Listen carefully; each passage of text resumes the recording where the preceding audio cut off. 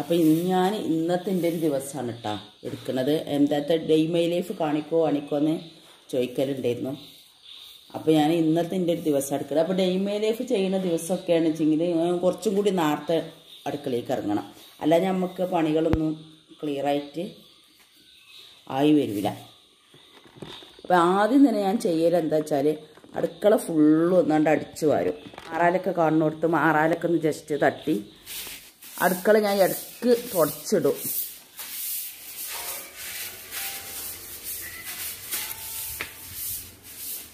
പിന്നെ ഇവിടെ മേട തുടക്കാൻ വേണ്ടിയിട്ട് എടുക്കുന്ന തുണി ഉണ്ടല്ലോ. ആ തുണി ഒക്കെ നമ്മൾ നന തുടക്കാൻ വേണ്ടി ഒലുമ്പുമ്പോൾ ഒലുമ്പുന്ന സമയങ്ങളിലൊക്കെ എന്താ വെച്ചാൽ കംപ്ലീറ്റും വെള്ളം നനട്ട് കുറ്റും. പിന്നെ അടിച്ചു വരാൻ പറ്റില്ല അപ്പോൾ ആദ്യം ഞാൻ അടിച്ചു വാരും. അതിനുശേഷം മേടകൾ വെച്ചാൽ മേ ഇതൊക്കെ ഒന്ന് തുടച്ചെടുക്കുക. അങ്ങനെയൊക്കെയായിട്ട് ചെയ്യുക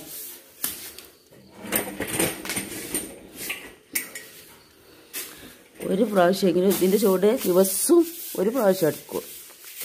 പിന്നെ ഈ ജസ്റ്റ് തുറക്കടീനൊന്നും അട അടിക്കൂല. അതാണ് നമ്മളെ ഉള്ളിക്കോട്ട. അത് നമ്മൾ ഉണ്ടാക്കിച്ചാട്ടാ ടയറൊക്കെ കൊടുത്ത് കാക്ക ഉണ്ടാക്കിച്ചതാ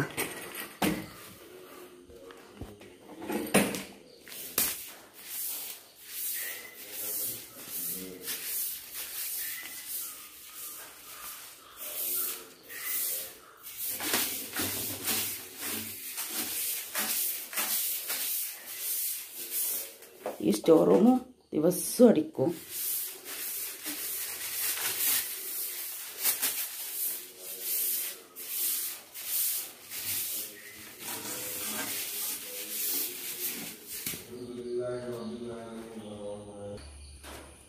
ഈ അടിക്കാട്ട് എന്താ ചെയ്യൽ വെച്ചാൽ ഇതിൽ കൂടെ പുറത്തേക്ക് ഇടാ ചെയ്യാം. രാത്രി കഴിക്കിച്ച പാത്രങ്ങൾ ഉണക്കാൻ വെച്ചതൊക്കെ ഉണ്ടെടുത്ത് അങ്ങനെ കംപ്ലീറ്റ് ഈ പാത്രങ്ങളൊക്കെ എടുത്ത് വെച്ചതിന് ശേഷം അങ്ങനെ അടുക്കളയിൽ വേറെയുള്ള പണികൾക്ക് ഇറങ്ങാം. ഇനി ഇതൊക്കെ തുണികൾ ഈ തുണി ഒലിമ്പിച്ച് മേടിയും കാര്യങ്ങളൊക്കെ ഒന്ന് തുടച്ചെടുക്കട്ടെ. അങ്ങനെയാണ് ഞാൻ ഒരു ദിവസം ചെയ്യട്ടാ. അങ്ങനെ ചെയ്താൽ നമ്മൾ അടുക്കളയിൽ ജോലിയൊക്കെ പെട്ടെന്ന് എളുപ്പമാക്കി എടുക്കാം. ഫസ്റ്റ് ചെയ്യലെന്താ വെച്ചാൽ ചോറിന് വെള്ളം വെക്കും. എന്നിട്ടാണ് ഞാൻ ചായക്കടിക്ക് നിൽക്കുക. എന്ന് ചിലപ്പോൾ നമ്മളെ ചോറും വെന്ത് കിട്ടും ഫ്ലാസ്കൊക്കെ വെള്ളാക്കൽ എല്ലാം കഴിഞ്ഞ് കിട്ടും. അങ്ങനെ അങ്ങ് ചെയ്തില്ലാന്നുണ്ടെങ്കിലേ പിന്നെ കരന്റെ അടുപ്പ് നമ്മൾ ഇവിടെ ഞാൻ പറഞ്ഞില്ല ഇവിടെ അധികം ഞാൻ കരന്റെ അടുപ്പ് ഈ തുണി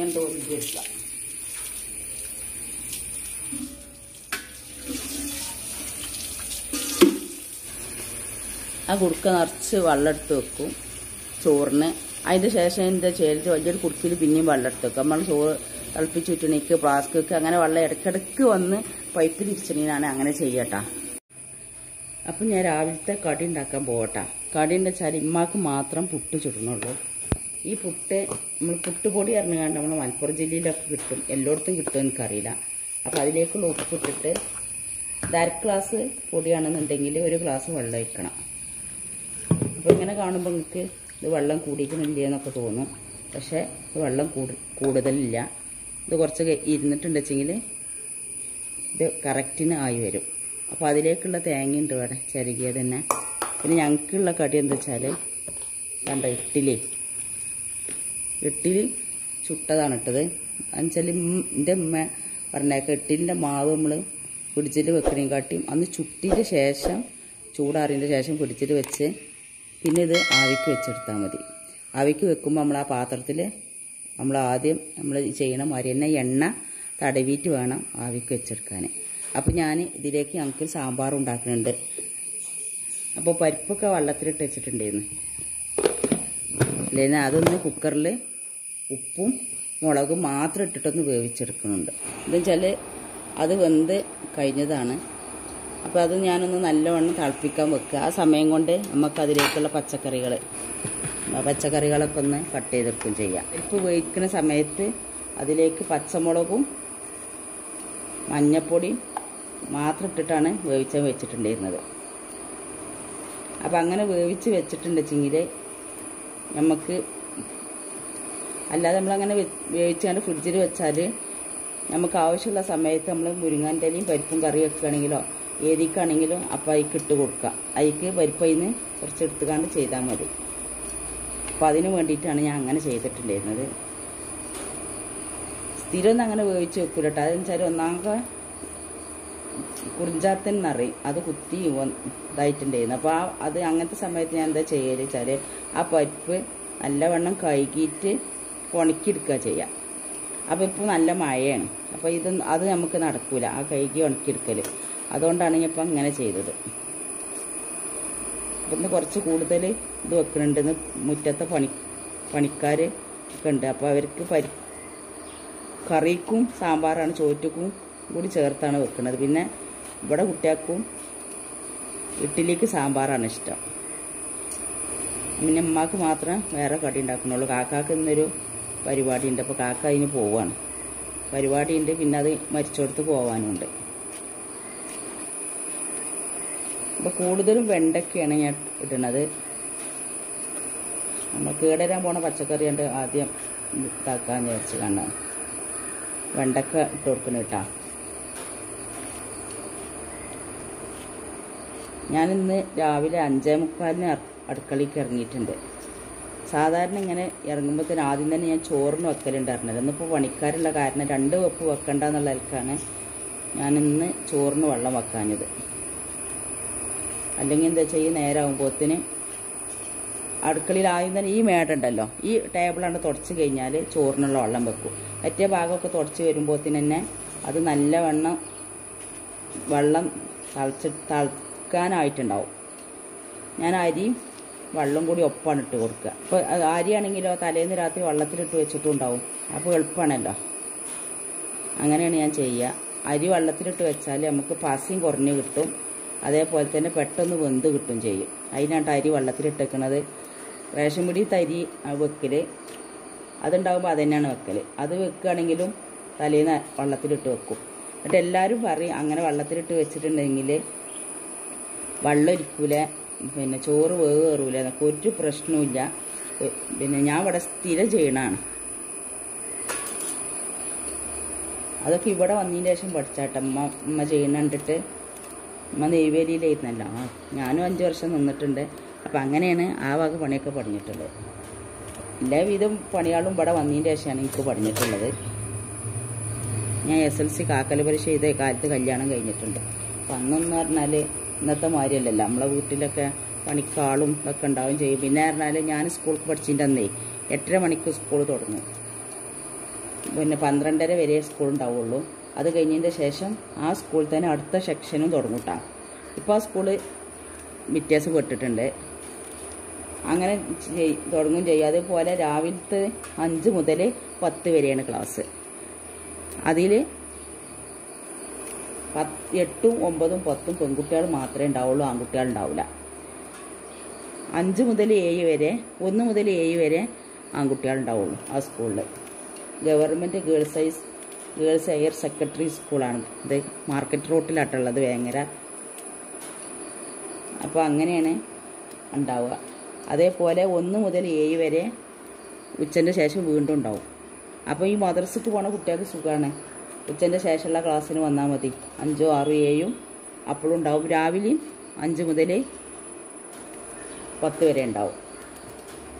അപ്പോൾ രണ്ട് സെക്ഷനായിട്ട് ആറും ഏഴും അഞ്ചും ആറും ഏഴും ക്ലാസ് ഉണ്ടാവും. അപ്പോൾ അത് സുഖമാണ് അങ്ങനെ ആകുമ്പോൾ ഇപ്പോൾ നോക്കുകയാണെങ്കിൽ നമ്മളെ പുട്ടുംപൊടി വേണ്ട ഉതിർന്ന് പാകത്തിനായിട്ടുണ്ട്.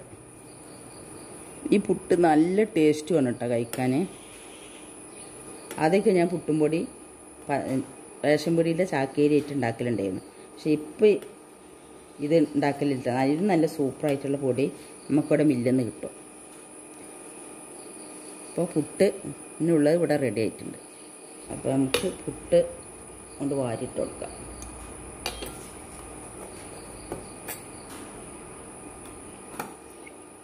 ഇനി വേറൊരു ഇതിനത് വെക്കാൻ കൊണ്ടിട്ട് അതിൽ തന്നെ അഡ്ജസ്റ്റ് ചെയ്ത് കണ്ട് വെക്കണത്. പിന്നെ അത് മാത്രമല്ല ഇങ്ങനത്തെ പുട്ടാകുമ്പോൾ ഇനി കുറച്ച് കഴിയുമ്പോൾ ഇത് കംപ്ലീറ്റും താന്ന് വരും. വേഗണ അനുസരിച്ചേ താന്ന് വരും. അപ്പോൾ ഇത് ഈ ഒരു കുറ്റിക്കന്നെ ഉണ്ടാവുള്ളൂ. സാമ്പാറിന്റെ പരിപ്പ് ഇതുകൂടി നല്ല തളിച്ചിട്ടിട്ട് അപ്പോൾ കരിവേപ്പിന്റെ ഇല ഒരു പച്ചമാങ്ങ ഒരു എട്ട് ചീരുള്ളി രണ്ട് തക്കാളി പച്ചമുളക് എരു അതിലുണ്ട്. പക്ഷേ പിന്നെ മുളക് ഇങ്ങനെ കാണി കാണാൻ വേണ്ടിയിട്ട് ഒരു മുളക് കൂടി ഇട്ടിട്ടുണ്ട്. ബീൻസ് വല്യുള്ളി ഒരു കഷ്ണം ഇഞ്ചി വെളുത്തുള്ളി ഒക്കെ കൂടി ഇട്ട് കൊടുക്കുകയാണ് അപ്പോൾ ഇത് ഒന്നുണ്ട് തളിച്ചതിന് ശേഷം.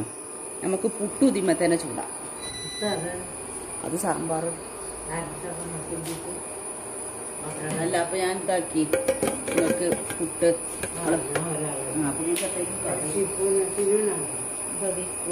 ഇഡ്ഡലി അപ്പോൾ പുട്ട് ഇതിന്റെ മേലെ വെച്ചോളൂ കൊടുക്കാം. മറ്റേ കുട്ടികൾ വിളിച്ചു കേട്ടിട്ട് അപ്പോൾ നമ്മൾ പുട്ട് വന്നപ്പോത്തിന് അതിൽ ഞാൻ ഇട്ടിരുന്ന പച്ചമാങ്ങി ഉള്ളി അങ്ങനെ എല്ലാ സാധനങ്ങളും ഒന്ന് വെന്ത് വന്നിട്ടുണ്ട്.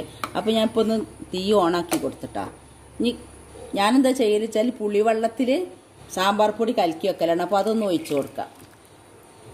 ഇത് ഇതൊന്ന് നല്ലവണ്ണം ഒന്ന് തിളച്ച് വരട്ടെ. അതിനുശേഷം നമുക്കത് താളിച്ചെടുക്കണം. പിന്നെ വെണ്ടക്ക ഞാൻ ഇട്ടിട്ടില്ല. വെണ്ടക്ക വാട്ടിയിട്ടാണ് ഇട്ട് കൊടുക്കൽ തക്കാളി ഉണ്ടോ അധികം ഒന്നും വെന്ത് പോയിട്ടില്ല. ഇത് ഈ മാങ്ങ ഉണ്ടല്ലോ. ഇത് തീരെ പുളിയില്ലാത്ത മാങ്ങയാണ്. നല്ലൊരു ടേസ്റ്റുമാണിത് അപ്പോൾ ആ മാങ്ങയാണ് ഞാൻ ഇട്ട് കൊടുത്തിട്ടുണ്ടത് അത് അഴിഞ്ഞു പോവും ചെയ്യൂല. എന്നാൽ പുളിയില്ല. അപ്പോൾ നല്ലൊരു ടേസ്റ്റ് ടേസ്റ്റുള്ളൊരു സൈസ് മാങ്ങ ആയതുകൊണ്ട് ഈ സാമ്പാറിന് നല്ലൊരു ടേസ്റ്റ് ഉണ്ട് കേട്ടോ അപ്പോൾ ഇതൊന്ന് തളിച്ച് വരട്ടെ. ആ- സമയം കൊണ്ട് ഞാൻ കരന്റെ അടുപ്പുമ്മൽ ഇഡ്ഡലി ആവി കയറ്റാൻ വേണ്ടിയിട്ട് വെള്ളം വെച്ചിട്ടുണ്ട്. കണ്ട? ഇത് ഓട്ടപാത്രത്തിൽ നല്ലോണം എണ്ണ തേച്ചിട്ട് ഇട്ടിലിങ്ങനെ അണച്ച് വെച്ച് കൊടുക്കുക ചെയ്തിട്ടുള്ളത്. എന്നിട്ടൊന്ന് ആവിക്ക് വെക്കാം. ഇല്ലാന്നുണ്ടെങ്കിൽ നിങ്ങൾക്ക് ഇഡ്ഡലി പാത്രത്തിലും ചുട്ടെടുക്കാം. വേണ്ട നമ്മൾ ഒരു ട്രിപ്പ് ഇഡ്ഡലി ഇവിടെ ചുട്ടെടുത്താ കേട്ടാ. ഇത് നമ്മൾ അപ്പം ചുട്ട ഇഡ്ഡലിന്റെ പോലെ തന്നെ ഉണ്ടാവും. നല്ല സോഫ്റ്റ് ഉണ്ടാവും. ഉണ്ടാ നല്ല സോഫ്റ്റ് ഉണ്ടാവും. അപ്പോൾ അത്യാവശ്യം എണ്ണ നമ്മൾ ആ പാത്രത്തിൽ തേക്കണം എന്നുള്ളൂ ഇനി എപ്പോഴും എപ്പോഴും എണ്ണ തേക്കേണ്ട ആവശ്യമില്ല. ഒരു പ്രാവശ്യം തേച്ചാൽ ആ എണ്ണ തന്നെ മതി. അപ്പോൾ ഇത് കംപ്ലീറ്റ് ഒന്ന് നമുക്കിങ്ങനെ ചുട്ടെടുക്കാം. ഇത് പണിക്കാർക്കും കൂടി ഉള്ള കേട്ടോ അതുകൊണ്ടാണ് ഇത്ര തോനെ. അപ്പോഴേക്കും നമ്മളെ കറി ഇവിടെ തളിച്ചിട്ടുണ്ട്. ഇനി ഇത് താളിച്ചെടുക്കാൻ വേണ്ടിയിട്ടുള്ള വെണ്ടക്ക ഒന്ന് വയറ്റിയെടുക്കും വേണം. ഇതിലേക്ക് വെളിച്ചെണ്ണ ഒഴിച്ച് കൊടുക്കാം. ഇത് ചൂടായിട്ടുണ്ട്. ഒരു ന്യൂസ് പേപ്പർ വെച്ച് കൊടുക്കാം കേട്ടോ. കടുകിട്ട് കൊടുക്കുക കൊടുക്കാം.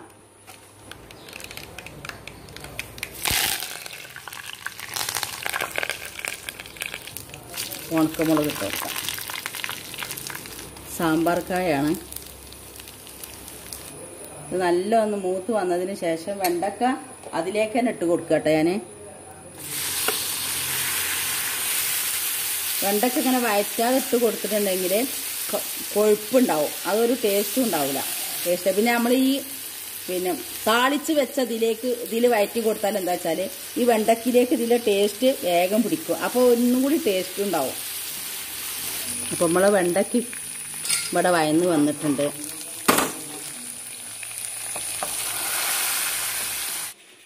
അപ്പോൾ ഇന്ന് പലവക എന്നുള്ള ഇറച്ചി കേട്ടോ. പിന്നെ ആദ്യമായിട്ടാണ് ഞങ്ങളിത് വാങ്ങുന്നത് ഞങ്ങൾക്ക് അറിയില്ലായിരുന്നു ഇങ്ങനെ മലപ്പുറത്ത് മലപ്പുറം കിച്ചന് അതേമാതിരി മലപ്പുറം താത്ത അങ്ങനത്തെ കുറേ ചാനലുകാരുണ്ടല്ലോ ഓരോ ചാനൽ നിന്നിട്ടാണ് ഞാൻ ഈ പലവക എന്നുള്ള ഇറച്ചി കേട്ടിട്ടുള്ളത്.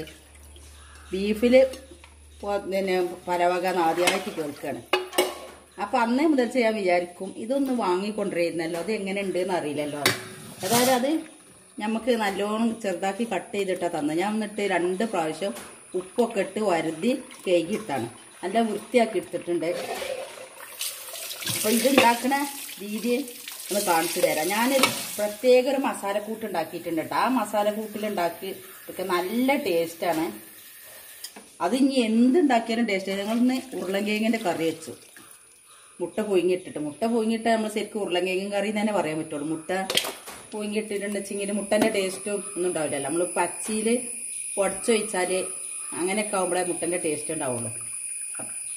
നല്ല ടേസ്റ്റാണ്. ഇതിൽ എങ്ങനെ ഉണ്ടാക്കിയാലും അതിന്റെ ഗുട്ടൻസ് എന്താ വെച്ചാൽ ഞാൻ ഉണ്ടാക്കിയ മസാലന്റെ തട്ടാ അപ്പോൾ ഞാൻ ഇതിന്റെ മുന്നേ ചിക്കൻ ഉണ്ടാക്കുന്നുണ്ട്. ഇമ്മയൊന്നും ബീഫ് കൂട്ടിയില്ല അപ്പോൾ ചിക്കനും അതേപോലെ തന്നെയാണ് ഉണ്ടാക്കിയെടുക്കുന്നത് കുറച്ച് വെള്ളം കുറവാക്കിയാണ്ട് പണിക്കാരുണ്ടല്ലോ. മുറ്റത്തിന്റെ പണിയുണ്ട്. അപ്പോൾ അതിൽ ഒരാൾ ബീഫ് കൂട്ടാത്ത ആളാണ്. അപ്പം അങ്ങനെ ഇതും ഉണ്ടാക്കിയിരിക്കണം അപ്പോൾ നമ്മൾ വേറൊരു അടുപ്പത്തേക്ക് മാറ്റി കൊടുക്കാം. ഇപ്പോൾ വെളിച്ചെണ്ണ ഒഴിച്ചെടുത്തിട്ടുണ്ട്. ഇഞ്ചി പൊടിയാക്കി അരിഞ്ഞ ഇഞ്ചി വെളുത്തുള്ളി പൊടിയാക്കി അരിഞ്ഞത് കരിയേപ്പിന്റെ ഇല പച്ചമുളക് പച്ചമുളകിന്റെ അളവെന്ന് പറയാം. ഇഞ്ചി ഞാൻ ഒരു കഷ്ണം ഇഞ്ചി എടുത്തിട്ടുള്ളത്. വെളുത്തുള്ളി പത്ത് അല്ലി വെളുത്തുള്ളിയാണ്. അപ്പോൾ ഓരോ വെളുത്തുള്ളി ഇങ്ങനെ ആറ് പീസാക്കിയിട്ട് പീസാക്കി എടുത്താണ് കേട്ടോ പിന്നെ വെളുത്തുള്ളി എത്ര നിങ്ങൾ ചേർത്താലും ടേസ്റ്റാണ് രണ്ട് വല്യുള്ളി ഇട്ടിട്ടുണ്ട്. ഒരു കിലോ പലവകയാണുള്ളത്. അപ്പോൾ ഇതൊന്ന് നല്ലൊന്ന് വാടി വരണം. അപ്പോൾ ഇതൊക്കെയാണ് കേട്ടോ നമുക്കിന്ന് പണിക്കാർക്ക് കൊടുക്കാനുള്ളത്.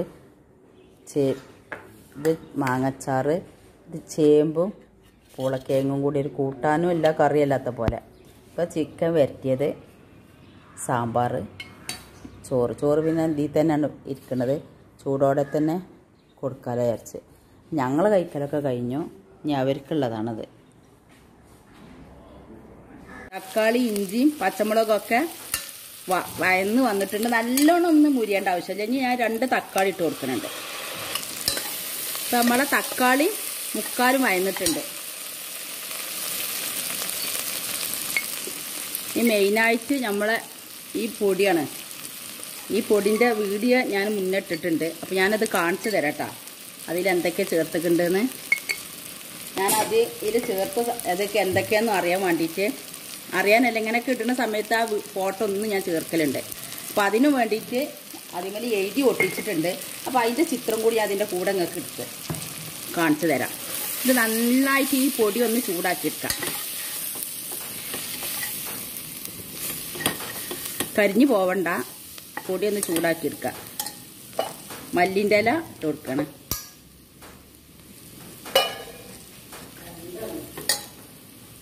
കരണ്ടെന്നാ ഇനി നമ്മൾ ഈ ഇറച്ചിലേക്ക് ചേർത്ത് കൊടുക്കട്ടെ.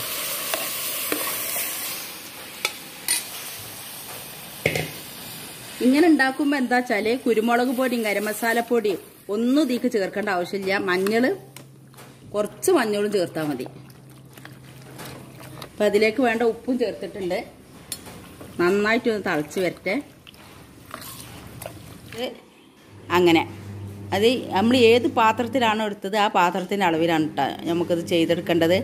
അപ്പോൾ ഇത് വെയിലത്തിട്ട് ഉണക്കിയാൽ മതി. അടുപ്പത്ത് വെച്ച് വറക്കരുത്. അപ്പോൾ ഇങ്ങനെ പൊടിച്ചെടുത്തിട്ടുണ്ടെങ്കിൽ ചിക്കനിലായാലും ബീഫിലായാലും പച്ചക്കറിയിലായാലും ഒക്കെ അത് ഇട്ടാൽ നല്ല ടേസ്റ്റാണ് അപ്പോൾ എല്ലാവരും കണ്ടില്ലത് ഇപ്പം ഞമ്മ ബീഫ് ഉണ്ടാക്കിയിരുന്നല്ലോ. എന്താ വെച്ചാൽ പലവക എന്നൊക്കെ പറയണേ. പക്ഷെ അത് നല്ല ഞാൻ ആറ് വിസിലൊക്കെ അടുപ്പിച്ച് കണ്ട് ഓഫ് ചെയ്തു കേട്ടോ ഓഫ് ചെയ്തൊക്കെ കഴിഞ്ഞ് കാക്ക വന്ന് ടേസ്റ്റ് നോക്കിയാണ്ട് പറഞ്ഞേ കുറച്ചും കൂടി ഒന്ന് വേവാണ്ട്. അപ്പോൾ കാക്ക എന്താ വിചാരിച്ചു വെച്ചാൽ അതിന്റെ മേലെ നല്ലോണം വെള്ളം നിൽക്കണ മാതിരി നിൽക്കുന്നുണ്ട് അപ്പോൾ അതിന്റെ നെയ്യായിരുന്നു കേട്ടോ അപ്പോൾ ഞാൻ അത് കാക്ക പറഞ്ഞു ഒരു അഞ്ചാറ് വിസിലും കൂടി അടുപ്പിക്കണം എന്നാണ് അപ്പോൾ അത് അഞ്ചാറ് വിസിലും കൂടി അടിക്കാമെന്ന് നോക്കിയപ്പോൾ അതിന് അതിൽ കാൽ ഭാഗം ഞമ്മക്ക് അടി പിടിച്ച് വാസന വന്നുകാണ്ട് ഇതായി കേടായിപ്പോയി. അപ്പം ഇത് പിന്നെ ഒറ്റടിക്ക് നമ്മൾ അങ്ങനെ ചെയ്തൊക്കെയാണെങ്കിൽ കുഴപ്പമില്ലായിരുന്നു. അപ്പം അങ്ങനെ ഇതൊന്ന് കുറച്ച് കുറഞ്ഞ് കിട്ടിയിട്ട് അപ്പോൾ ഞാൻ വേറെ പാത്രത്തേക്ക് മാറ്റിയതാണ്. അതാണ് നിങ്ങൾക്ക് കുക്കറിനെ കാണിച്ചു തരാൻ കേട്ടാ. നല്ല ടേസ്റ്റ് ഉണ്ട്. ഏതായാലും ഇങ്ങനെ ഒരു ബീഫുള്ള വിവരം ആദ്യമായിട്ട് ഞാൻ ഈ ചാനലിൽ കൂടിയാണ് കേട്ടോ അറിയണത് ഇന്നെ പോലെ പലരും അങ്ങനെ തന്നെ ആയിരിക്കും അറിയണത് വിചാരിക്കണം.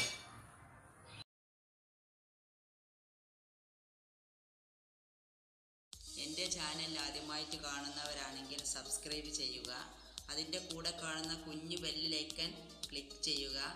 എന്നാൽ ഞാൻ ഇടുന്ന വീഡിയോകൾ അപ്പോൾ നിങ്ങൾക്ക് ലഭിക്കുന്നതാണ്. ലൈക്ക് ചെയ്യാനും മറക്കരുത്.